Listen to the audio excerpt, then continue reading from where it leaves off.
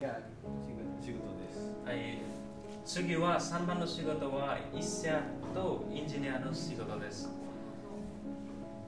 医者とエンジニアはあ例えば学校で高校を勉強している学生、医学生の間、大体70%ぐらいは医者とエンジニアあになりたいです。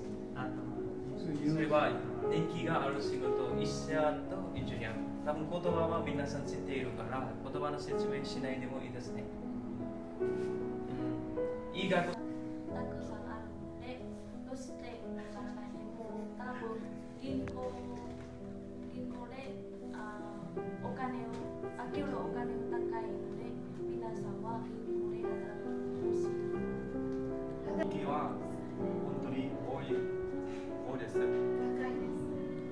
あ高いです。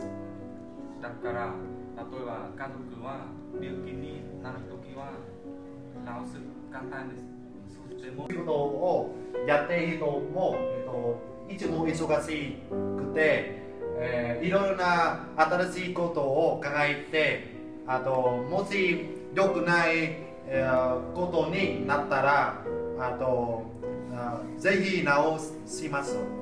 あといつも、えー来週ネパールネパールに人気がある仕事の中で今とても人気がある仕事観光ビジネスガイドのガイガイドについてじゃんけんぽい。はいベトナムチームからどうぞ。はいじゃあ発表の人前に出てきてください